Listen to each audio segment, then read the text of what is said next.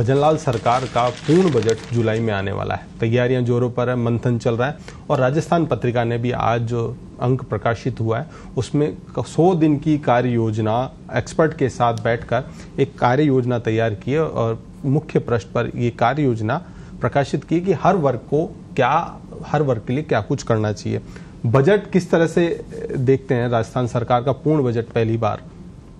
देखिए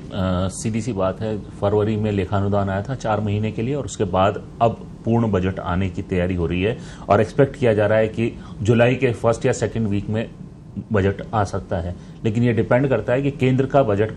कब आता है, क्योंकि हमारा आम बजट जो होता है उसी पर राज्यों का बजट आधारित होता है कि आम बजट में क्या क्या सुविधाएँ, केंद्र सरकार या क्या पूरे देश के लिए योजनाएँ या सब्सिडी योजनाएँ चलाने की तैयारी करी और काफ़ी हद तक माना जाए तो राज्यों का बजट अब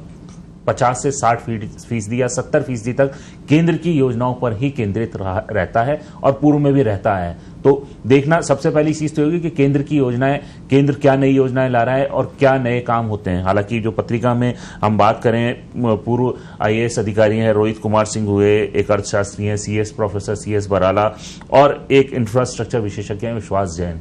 तो इनके साथ मिलकर एक कहीं ना कहीं ओवरऑल डेवलपमेंट के हिसाब से या सौ दिन के प्लान के हिसाब से भाजपा का जो प्लान रहा। जी आप दिखा भी सकते हैं दर्शकों को किस तरह का प्लान आज राजस्थान पत्रिका ने देखिए ये सौ दिन का प्लान जो है ये प्रकाशित किया गया है और इसमें आप देख सकते हैं कि हर वर्ग को साथ ले जाने की कोशिश की गई है चाहे इसमें महिलाओं की बात की जाए या सामाजिक विकास की बात की जाए या इंफ्रास्ट्रक्चर डेवलपमेंट की बात की जाए। तो ये काफ़ी मेजर पॉइंट्स हैं। शिक्षा हुआ प्रशासन हुआ कानून व्यवस्था हुआ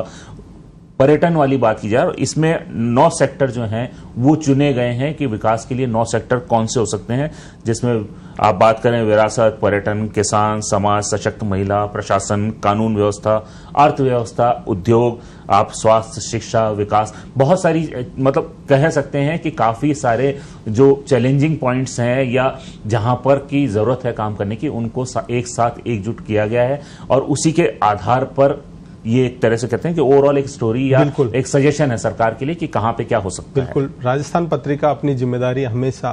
हमेशा की तरह इस बार भी निभा रहा है और सरकार को बता रहा है कि किस सेक्टर में उनको काम करना हालाँकि सरकार के अधिकारी तमाम अधिकारी जो इन योजनाओं पे काम कर रहे हैं फिर भी एक जिम्मेदार के ज़िम्मेदारी के तहत हम बार बार सरकार को आपके पाठकों के सहारे हम उनको बताते रहते हैं ताकि इन पर काम हो।